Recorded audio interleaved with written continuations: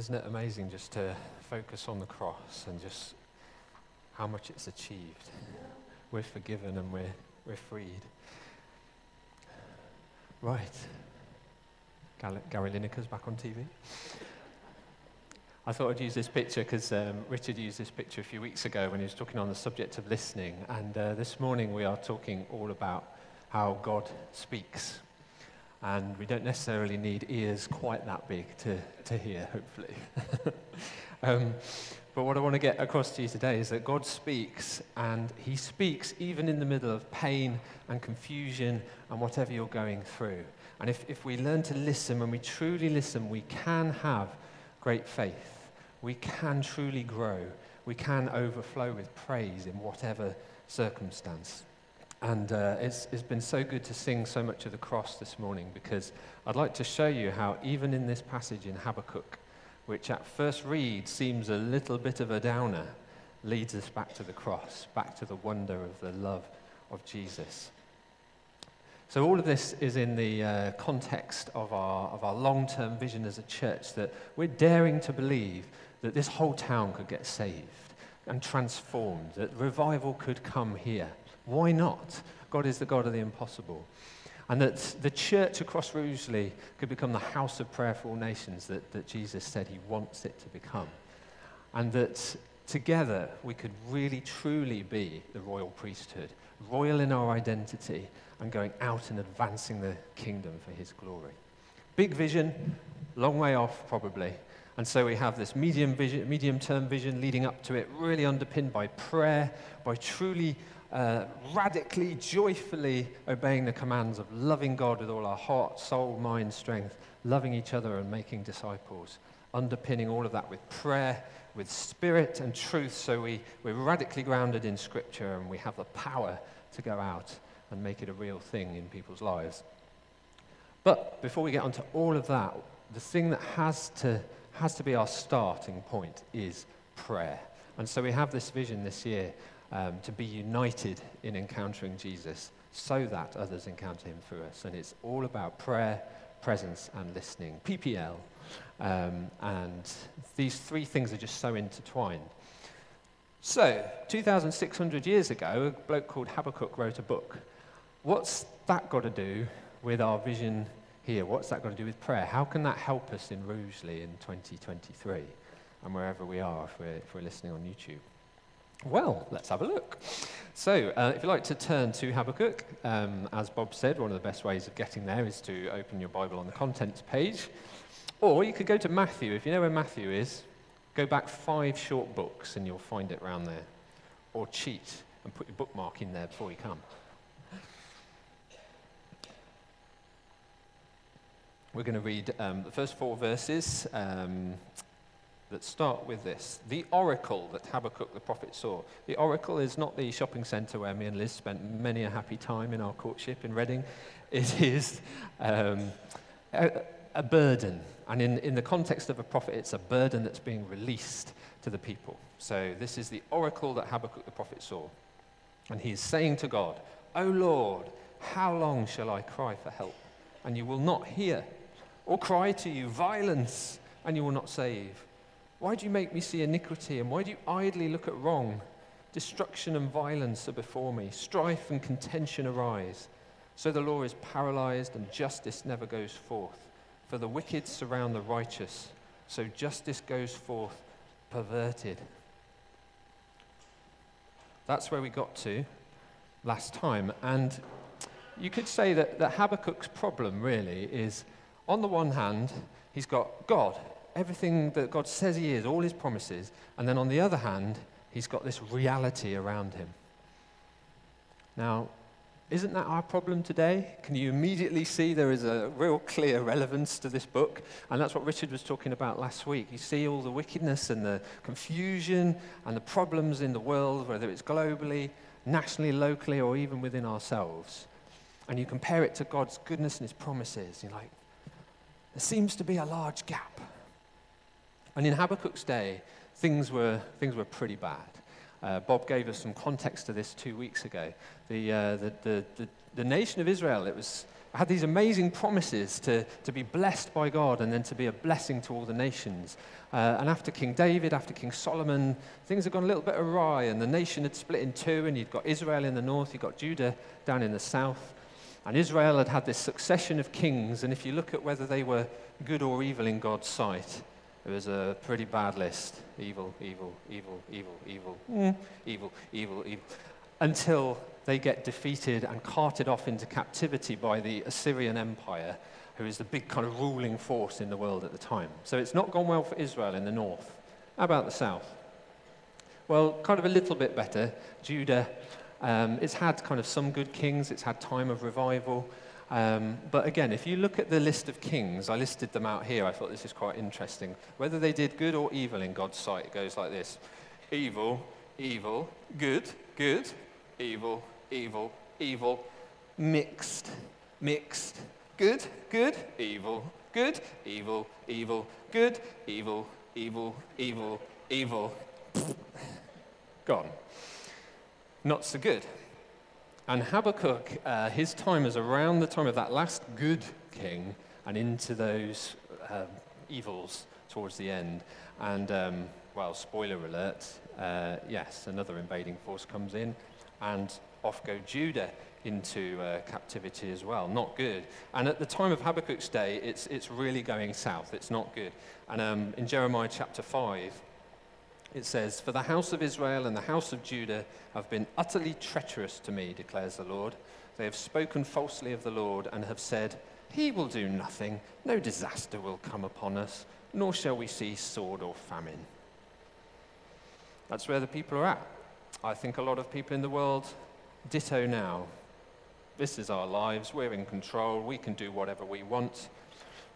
And so the people of Habakkuk's day, they are, they are kind of glib, they are ignorant, they are arrogant, they are, we don't need God. But Habakkuk is shaken about this. He's shaken. And it stirs him into action, shaken and stirred. James Bond would not have liked that drink. But it has stirred him. And what action has it stirred Habakkuk into? Crying out to God, prayer. And I just think, isn't this interesting that God often lets circumstances get so bad, we eventually end up on our knees in prayer. I wonder what would have happened if we'd started there and our lifestyle was on our knees in prayer, complete surrender to God. Habakkuk gets so desperate, he's driven to his knees in prayer, and that's what this, this book is. It's kind of similar to um, the psalm that I talked about back in um, uh, that when I released the, the vision uh, a few weeks back, a psalm that had blessed me last autumn, Psalm 73. Asaph had got so cross about all the wickedness around him, and he, he said, Lord, I try to understand this, and it seems to me a wearisome task until I went into the sanctuary of God. Hmm, interesting if he'd gone into the sanctuary of God to start with, or maybe just lived from that presence. Uh, how long had he spent feeling so wearisome about it? So that's why prayer is just so important to everything we do. If we're starting with prayer, this prayer, this presence, this listening, this relationship, this two way thing with God. So we, we see in this, it starts off with Habakkuk speaking. But what I wanted to really get across today is God speaks. God speaks. So, do you want to hear God speak? Yes, okay. Shall we hear him speak? Where are we on the screen? Oh, here he is. So, God's reply to Habakkuk Look among the nations and see, wonder and be astounded, for I am doing a work in your days that you would not believe if told. Habakkuk's like, Oh, yes, come on, bring it on, bring it on, this sounds good. For behold, I am raising up the Chaldeans, that bitter and hasty nation. What? Habakkuk's thinking, uh, come in, sorry who march through the breadth of the earth to seize dwellings not their own. They are dreaded and fearsome. Their justice and dignity go forth from themselves. Their horses are swifter than leopards, more fierce than the evening wolves. Their horsemen press proudly on. Their horsemen come from afar. They fly like an eagle, swift to devour. Just remember that verse, that's going to be significant later. They all come for violence, all their faces forward. They gather captives like sand. At kings they scoff, and at rulers they laugh. They laugh at every fortress, for they pile up earth and take it. Then they sweep by like the wind and go on. guilty men whose own might is their God. Oh, pants. Probably Habakkuk's exact words. God's spoken, but it sounds pretty bad. Is this God? Does he know what he's doing? God's going to raise up the Chaldeans, and what you don't know yet from this passage is he's going to raise them up against his own people. How can this be a good thing? And the Chaldeans, they're this people group who, for, for many years, have been like a thorn in the side of the Assyrian Empire. They've taken Babylon a couple of times, and as the Assyrian Empire starts to break up, the Chaldeans are just perfectly placed as part of this big Babylonian empire, now just sweeping through. And again, spoiler alert, it's going to come through and it's, it's going to defeat the, uh, the, the people of Judah, destroy Jerusalem, and off they go into captivity. And so Habakkuk's thinking, how does this help? How does raising up the Chaldeans help? God, what are you doing? Do you even know what you're doing?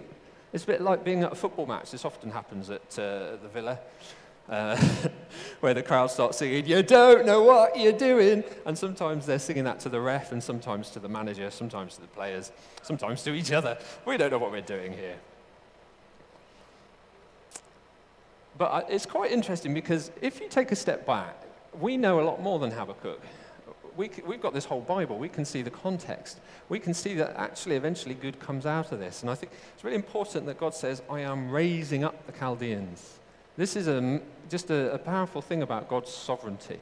The biggest force in the world at the time, the Chaldeans, the Babylonians, he's, they're, they're still reporting to God. They, they still can't do anything unless God lets them. And, it, and again, spoiler alert, there's a number of spoilers in here. Um, a little bit later in Habakkuk, we see God says, I'm also going to destroy them. So this is all about God speaking. Prayer is two way. Habakkuk has spoken, and God's amazing. He promises that when we speak to Him, He listens. It may not feel like it at times, but it's a promise. He hears, He listens. But equally so, when He speaks, we need to listen. And I just found, as I was studying this through the week, I found, isn't this amazing that God's spoken here in Habakkuk? And it doesn't seem to make a lot of sense and it doesn't seem good. But what we've got to learn is that it comes in the context of everything that God says. Because God has been speaking to his people from the start, speaking to Adam and Eve, giving them amazing promises be fruitful, multiply, fill the earth. God has been speaking to, to Noah what's going to happen with your descendants. With um, Abraham, you're going to have descendants as numerous as the stars in the sky and the sand on the seashore. I'm going to make you into a nation. And to, to Jacob, to, to Isaac, to Jacob, to Joseph, and so on.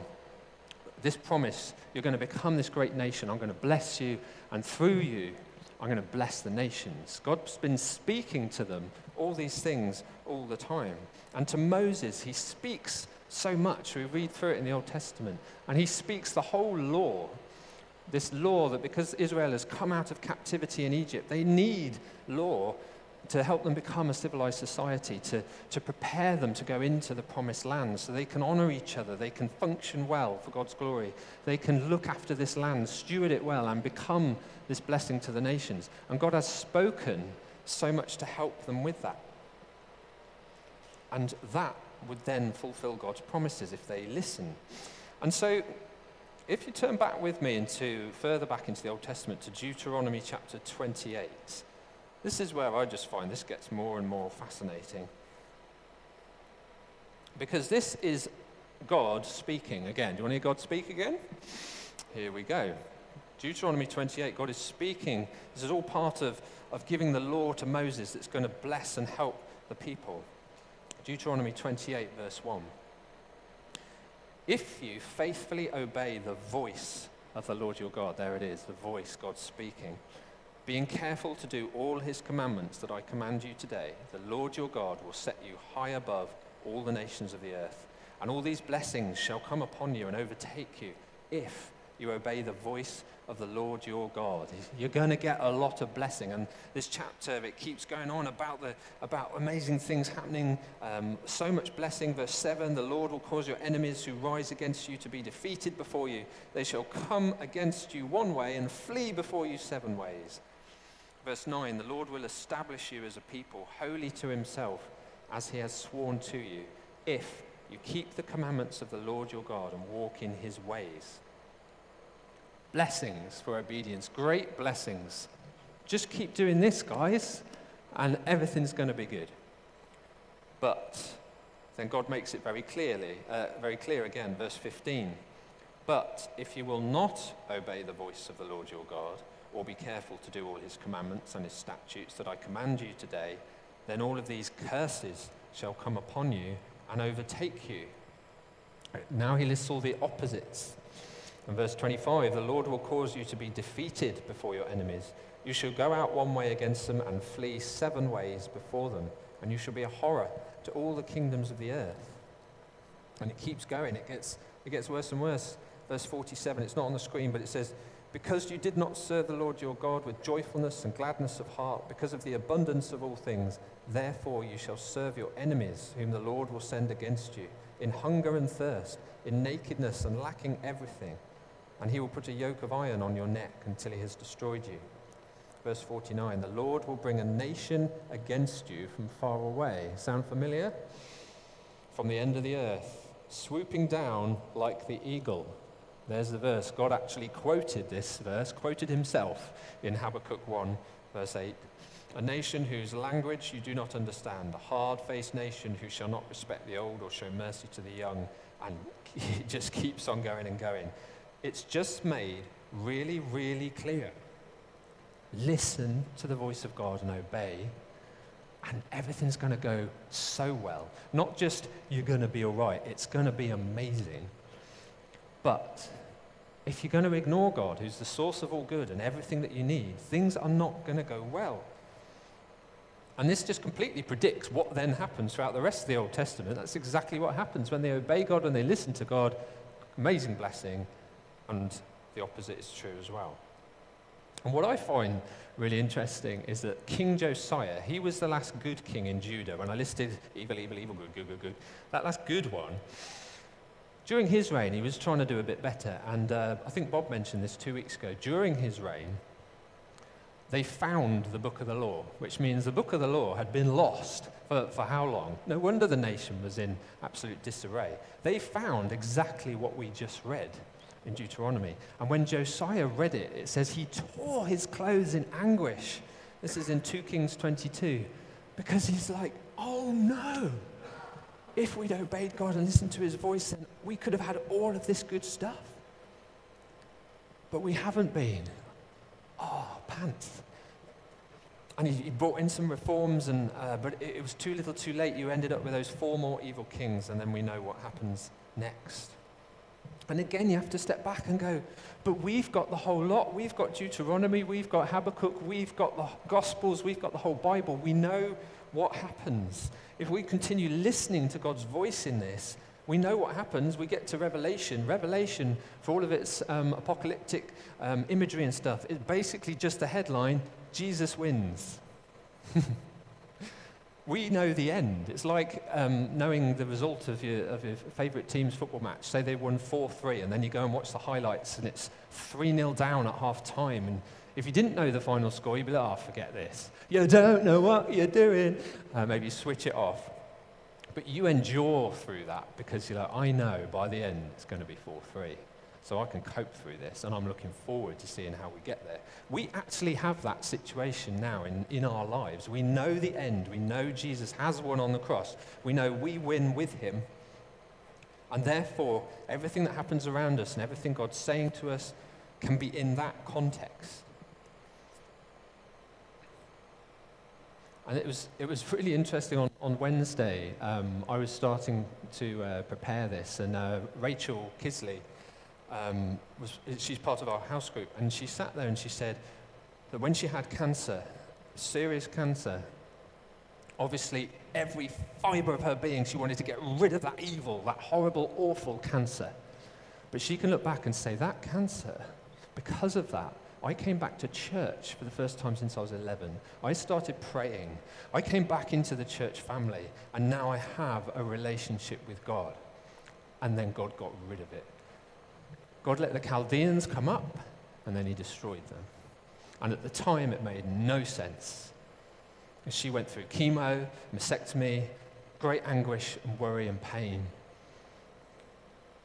But God had a plan. God is sovereign. God knows what he's doing. So if you're in the middle of something now, listen to what God's saying. It's all in Scripture, it's all here. God speaks. And not only does he speak, but back in Habakkuk, he prefaces it by saying, I am doing something astounding. Wonder and be astounded. I am doing a work in your days that you would not believe if told. He's saying, I'm doing something and it's astounding. Don't miss it. Don't panic if to start with it doesn't look good. And this is where it brings us back into the gospel. This is where I get really excited. I'm like, yes. We started with the cross in worship, and this brings us back to the cross now because in the book of Acts in the New Testament, Paul, he's speaking to a synagogue full of Jewish people in Antioch, and he quotes this verse. So if you'd like to turn to Acts chapter 13, it's just amazing to think in Habakkuk's day, biggest thing that was missing was Jesus and the cross. The people got punished. The people went through all of that horrible stuff with no hope.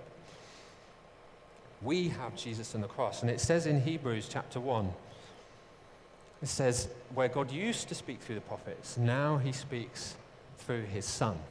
He's, and that's through Jesus himself. It's through Jesus' blood on the cross. Hebrews 12 24 says his blood speaks, and it speaks mercy to sinners and forgiveness. So if you turn to Acts chapter 13, verse 38,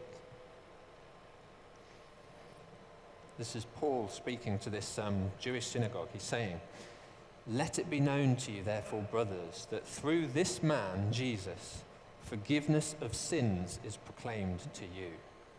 These are the descendants of the people of Habakkuk's day. And by him, everyone who believes is freed. And in the Greek, it's justified. I always remember my dad saying, What does justified mean? It's like saying, just as if I'd never sinned. Justified, never sinned. When we come to Jesus and believe and accept him as our Savior, it's just as if we'd never sinned. What? So by him, everyone who believes is freed from everything from which you could not be freed by the law of Moses, that law we were reading before. Beware, therefore, lest what is said in the prophets should come about. And here we get Habakkuk 1, verse 5. Look, you scoffers, be astounded and perish, for I am doing a work in your days, a work that you will not believe, even if one tells it to you.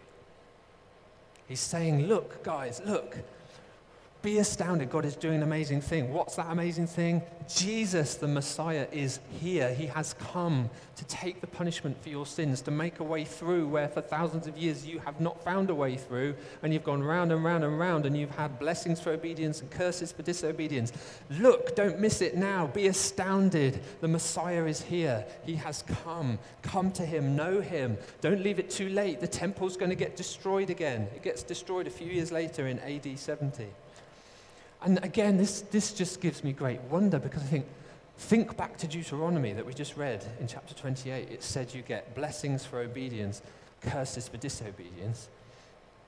It becomes quite evident to us none of us are obedient, are we? in claiming that we're obedient, we're being disobedient, ironically. But none of us can actually meet that whole law. But with Jesus, we get eternal blessing through his obedience. He gets cursed because of our disobedience.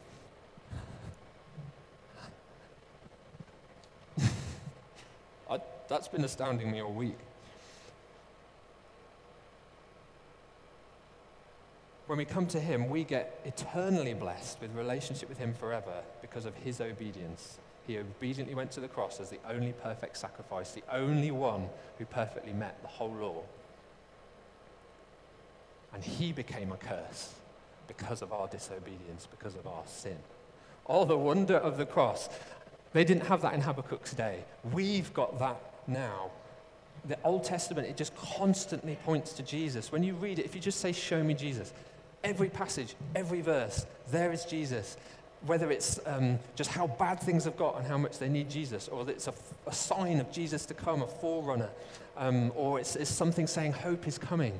It's all about Jesus. And we know that famous verse all the promises of God find their yes in Jesus. And it's through him we say amen for his glory. It's Jesus. It just, everything points us back to Jesus and the cross. That's where he wants to point us back to. And we get there in prayer because that's where we truly listen. God speaks and we listen. Listen to the wonder of the cross. And then it means if we're in Habakkuk's position, like we've said we kind of are, when we look at all the wickedness around us, now we can cry out with the power of the cross that the power of the cross will come and heal our land. The power of the cross will come and save. If that wickedness is, is affecting us, if we're on the receiving end of that wickedness, we can call out the power of the cross to help us forgive where we have been hurt and messed around by that wickedness because He forgave us on the cross. Where we see that wickedness in ourselves, we can throw ourselves on the grace and the mercy at the cross, His blood shed at the cross that cleanses us. We can cry out in thankfulness, in gratitude. Thank you for taking my punishment at the cross. Thank you, Lord, for giving me the grace and the mercy to deal with the consequences of my actions. And if the circumstances around us are challenging and don't make sense and confusing, we can go back to the cross and say, God, thank you that you will work things together for good. How do you want to grow me? How do you want to refine me? How do you want to make me more like you? Which is only possible because of the cross. Hallelujah. All of that is prayer. All of that starts with prayer and us listening to God. And then we cry out back to Him and we keep on listening. Don't miss what God is doing. If things suck at the moment, He's still saying, I'm doing something astounding. Hang on in there. My promises are good. It does come good. He wants revival even more than we do, but He wants to revive us. It's a revival, a reformation in us and in the church before it spreads outward and heals our land. And um, if I could just have, um, I had a picture of the cross with a quote on it. Um, I've been doing a lot of reading on prayer, and I came across this, this quote, um, which I really like, just in the context of today. When you teach people to pray, you teach them to triumph. It's the prerequisite to a victorious, overcoming Christian life. We're learning to pray at the moment, aren't we? Through the prayer course, through each other, through our preaching, and we'll keep coming back to that all year because we want to triumph. Do you want to triumph? You want to triumph in life? Does it feel like you're triumphing in life at the moment? Well, prayer is the prerequisite. That means a condition that is needed for something to happen, the prerequisite to a victorious, overcoming Christian life. I want to live a victorious, overcoming Christian life. Every single one of us can. Right through the pain, right through the suffering, together we can. Do you want to live that together? Yeah, Little bit of, little bit of a victorious, overcoming Christian life? Yes, please. Well, it starts with prayer, which means we're on our way. We're on our way to it. We're taking those first little baby steps. We're praying. This is an astounding thing. God is doing it. So there we are. We started by saying Habakkuk's frustrated with the difference between what he sees and God's promises, and we can relate with that. Well, I invite you, put the cross in the middle and it all makes so much more sense. Let it bring you to your knees and pray. Let gratitude pour out. Thank you, God, you made a way through. Let intercession and petition, like we were hearing about in the prayer course this week, let that come out as a result to it because of the cross and keep listening to Jesus. Yeah? And spoiler alert, the more Habakkuk does that, the more he listens, the more it starts to translate into faith and worship. And that's where we're going. God is moving. It's astounding. Don't miss it. Amen? Amen. Good word. Now, I think, Jane's still here, could we sing a song about the cross, even if it's just He Lives Again? As we sing that, just, um, just let, just the power of the cross, just let it sink in. I'm forgiven, I'm redeemed, I'm restored. I don't see the finished work in me yet, but it has happened if I have given my life to Jesus. And if you haven't given your life to Jesus, do it today. Do it today. Don't leave it another day. That's what Paul's saying in Acts. Don't leave it too late. Because at the moment, your sin is separating you from God. And if you do it today, you get to know this joy of the power of the cross. You get to know his blood cleansing you from all sin. You get to know the start of abundant life, of victory, of reigning with him. Don't leave it too late. Do it today, I urge you. And if you do know him and you want you just need a bit of a spiritual kick up the backside and just say, Yeah, I want to do this. I want to just put the cross central. Then, as we're singing, maybe just come forward or come to the side here and we'll just pray a blessing. We'll just say, The power of the cross. Holy Spirit, come. Just, just do more of your amazing work. So, yeah, Jane and um, I was going to call you Gabriella. That's weird. Amelia. if you could come forward and lead us in worship. Let, let the, the words of it minister to you. Uh, oh, yes, and we'll